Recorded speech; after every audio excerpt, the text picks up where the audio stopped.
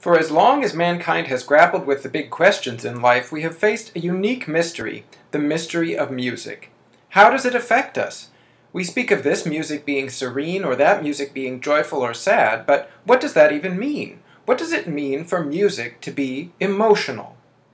Most of the mystery comes from the fact that musical emotions don't fit the pattern we know from our normal emotions. Suppose a man builds a successful business and feels happy and proud. That makes sense. We know the reason. We know why he feels what he feels. Or suppose a person loses a loved one and feels profound sadness and grief. Again, it is pretty obvious why the person feels what they feel. We understand it. In the case of normal emotions, we react to some boost or some hit, to something we care about. We respond to the benefit or harm to some value in the world. But take the case of musical emotion. Hear the overture to the Marriage of Figaro.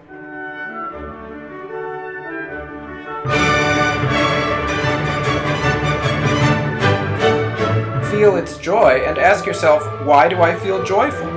The only answer is, the music made me feel it. Or listen to Chopin's Funeral March and ask yourself where the feeling of solemn grief comes from.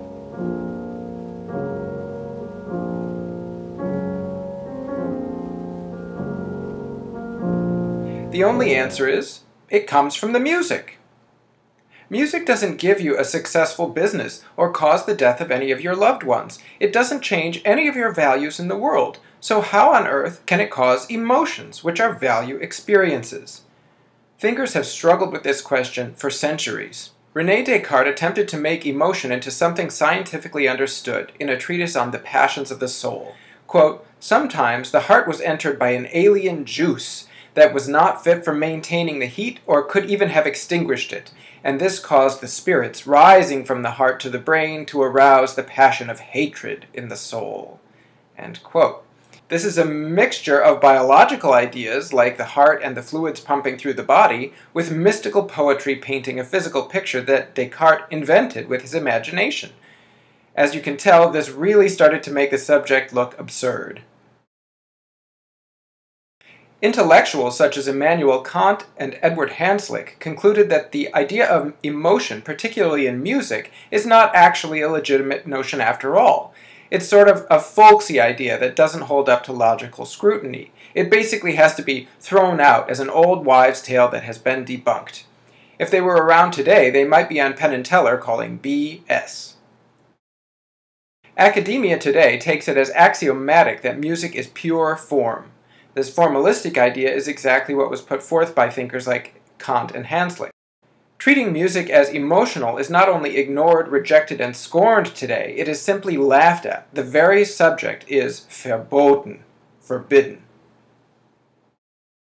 Some thinkers, following these formalist uh, philosophers, deliberately tried to save the idea of musical emotion they strained to construct some link between the experience of hearing tones and the feeling that you have about the world. They looked to associations or analogies we can form. They tried to argue that music represents or depicts the world in the way that a painting does, which is plain nonsense and certainly has not helped the notion of musical emotion gain any credibility. This is not purely an issue for the scientific laboratory.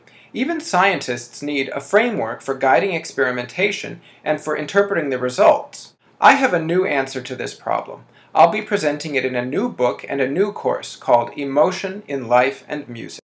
I'll tell you the heart of my answer now as a teaser for the course.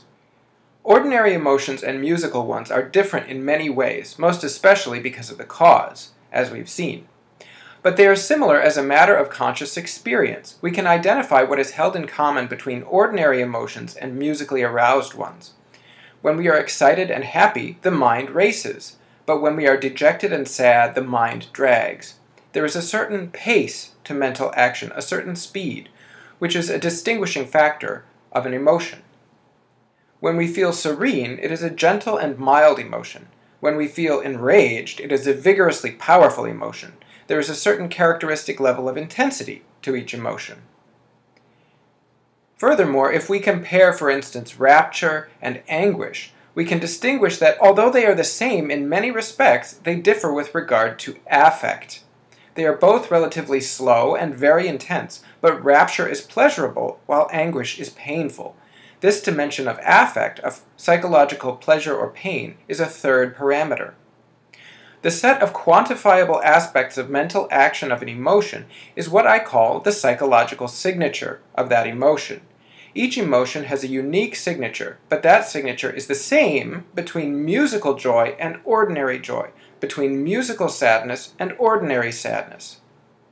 This is the essence and heart of my new theory of music. I've been developing it for more than 15 years, and I am finally ready to start giving the full public presentation. Please join me for my new course and my new book, which will introduce this theory and elaborate it.